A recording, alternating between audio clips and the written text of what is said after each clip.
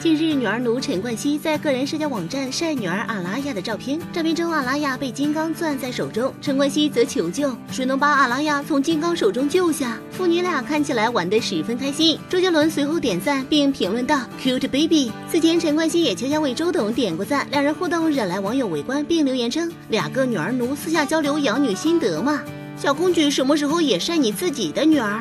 高桥良介和藤原拓海特别同框了。非凡娱乐整理报道。